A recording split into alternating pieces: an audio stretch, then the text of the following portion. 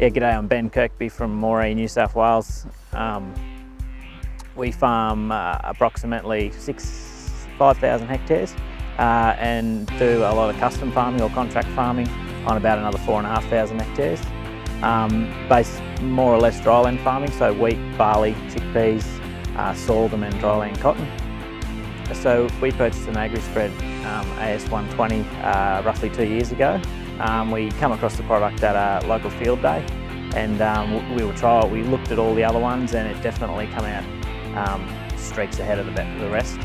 Um, and it, it is perfect for our for our conditions and what we want. Being able to spread 36 metres um, on controlled traffic farming and uh, with uh, maximum capacity of, of around, we can get about 11, 11 tonne of urea in there, which is unbelievable compared to other spreaders on the market. So the highlight of my AgriSpread tour is uh, coming over to Ireland and um, going through the factory, seeing start to finish the product and meeting the Murphy family um, and seeing exactly uh, how they've gone about their business and, and where they're going in the future.